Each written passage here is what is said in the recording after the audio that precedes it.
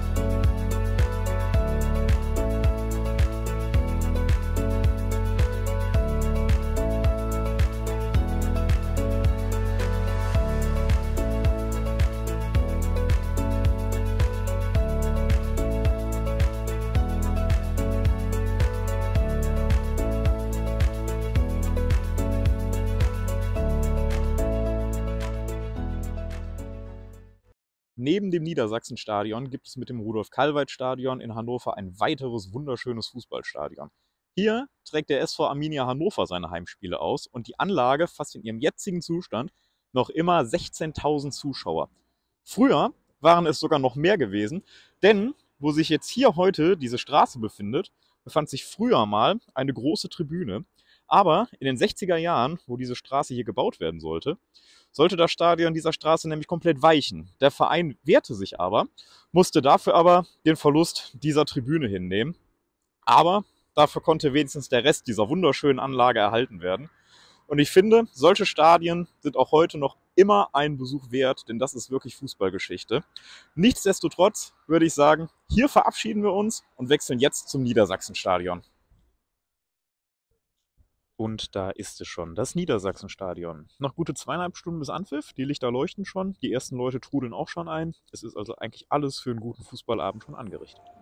In etwa anderthalb Stunden treffen hier nicht nur zwei große Vereine aufeinander, sondern auch zwei großartige Fanszenen. Alleine aus Lautern werden über 8000 Zuschauer erwartet. Also es verspricht nicht nur auf dem Rasen, sondern auch auf den Rängen ein heißes Duell zu werden.